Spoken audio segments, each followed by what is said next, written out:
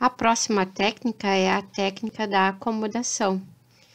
Ela se caracteriza por uma atitude cooperativa e autossacrificante, onde o indivíduo renuncia à sua opinião ou interesses para satisfazer ou acatar a opinião do outro ou dos outros. É um comportamento generoso, altruísta, em prol da outra parte, tá? Então, é possível nós encontrarmos diferentes pessoas no nosso dia a dia.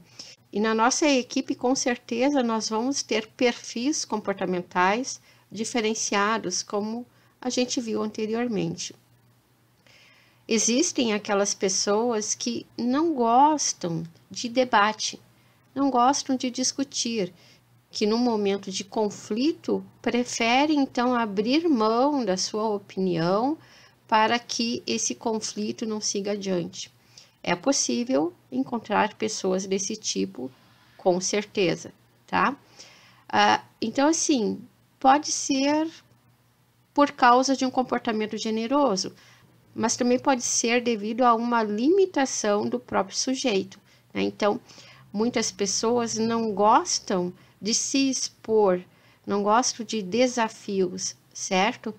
Então, preferem abrir mão daquilo que pensam, e muitas vezes eles estão com a razão, do que ter que enfrentar um debate, do que, do que ter que enfrentar um conflito, tá?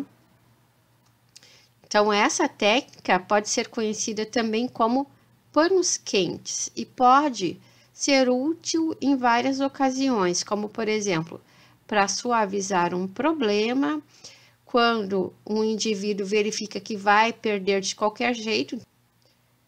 Então também tem essa questão. Existe aquela pessoa que ela é muito, na verdade, esperta, quando vê que vai perder, que ela realmente não estava com a razão, então, ah, não vamos deixar assim, tapinha no ombro e aquela coisa, né? Então, na verdade, isso aí é uma tática dessa pessoa, certo? Para manter a harmonia e quando a questão é mais importante para a outra parte, tá? Ou mesmo, como eu falei, quando a pessoa que está envolvida no conflito não tem aquele perfil de imposição, de ir à luta, de debater, de discutir, de defender a sua opinião. Então, prefere realmente encerrar o conflito e deixar tudo como estava, certo?